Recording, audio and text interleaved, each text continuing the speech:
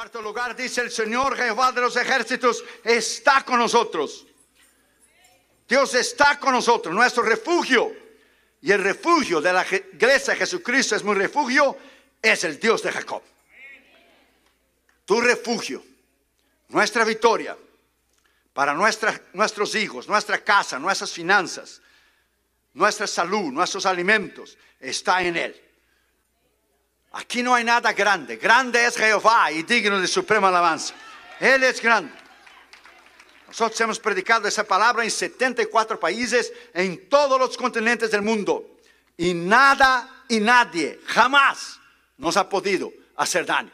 El diablo intenta, pero si tú estás cubierto en la sangre de Jesús, no hay nada y nadie que te podrá hacer daño. Ponga esa palabra en su corazón. Sí habrá pruebas, sí habrá luchas, sí habrá tribulaciones, Sí habrá infortunio, sí habrá tragedia, sí habrá dolor y angustia y tristeza como usted pasó. Pero usted tiene que saber que Él está. Yo quiero tener, yo reservé ese mensaje para hoy, para la iglesia, como estamos en casa, para usted entender que Dios está con usted. Dios está con la iglesia. Dios está con la iglesia. Jesucristo es mi refugio.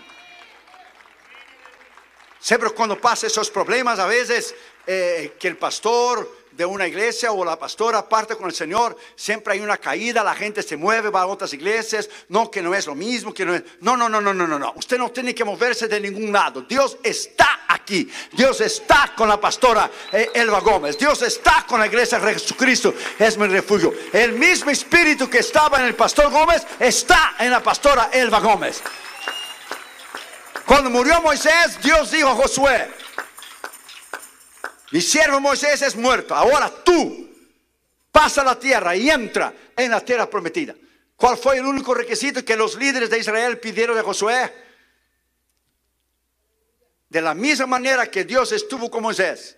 Si Dios está contigo, va a estar contigo como estuvo con Moisés, nosotros haremos todo lo que tú digas. Entonces el Espíritu de Dios está con la pastora Elba Gómez. Yo quiero poner esa palabra en tu corazón porque en muchos lugares, no solamente aquí en Estados Unidos del mundo, yo veo que tambalean la gente cuando hay eso.